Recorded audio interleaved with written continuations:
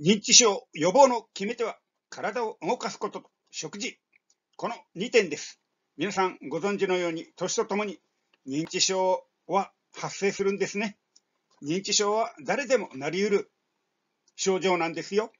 ですから、まあ、少しでも遅くするというのがシニアのテーマではないでしょうか。皆さんご存知のように認知症っていうのは脳の病気や障害など様々な原因による認知機能が低下し、日常生活全般に支障が来る状態ですね。これはあの病名ではありません。で、一番多いのがアルツハイマー型認知症と言われている認知症の中で最も多く、脳神経が変性して脳の一部が萎縮していく過程で起きる認知症ですね。まあ、その他に血管性認知症なんかもございます。これは脳梗塞とか脳出血などの脳血管障害によって起きる認知症ですね。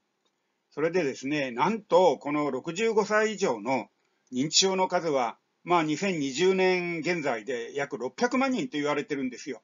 それが2025年、今は2022年ですが、2025年には約700万人ということで、高齢者の5人に1人ということは2割がまあ、認知症になると予測されているわけですね。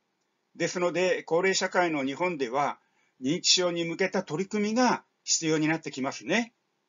それで、この認知症の症状っていうのはどういうのかと言いますと、まあ、物忘れ。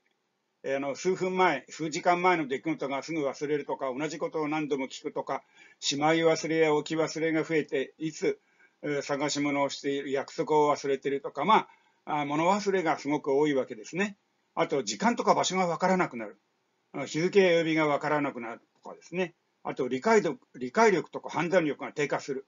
まあ、これは手続きや貯金の出し入れができなくなるとか、あるいはその状況や説明が理解できなくなる。テレビ番組の内容が理解できなくなるとか、いろいろですね、理解力、判断力が低下しますね。それから仕事や家事、趣味、身の回りのことができなくなる。まあ、これいろんなことがあるんです。で、これはですね、まあ、多かれ少なかれ一種の老化現象ですので、誰でもこうなるんですが、今日はですね、この認知症を少しでも遅らせる決め手は何かっていうと2つなんです。1つは体を動かすこと。もう1つは食事なんですよ。それで体を動かすことっていうのはですね、まあウォーキングもいいですし、家の中の掃除をすること、まあ一番いいのは仕事をして外出することですね。これは歩きますし、人とも会いますのでね。あと食事はですね、まあ、あの、食物繊維の多い食べ物、野菜とか果物ですね。それとですね、やはり大豆食品。えー、まあ納豆とかですね、だあの豆腐ですね。こういうのは非常にタンパク質が多いですよね。それからですね、青魚。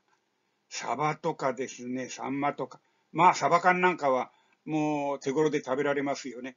こういうような体を動かすことと、食事を気を気をつけることによって、認知症を遅らせることができるんですよ。ですので、どうか皆さん、えー、認知症を少しでも遅らせるように、えー、したいですね。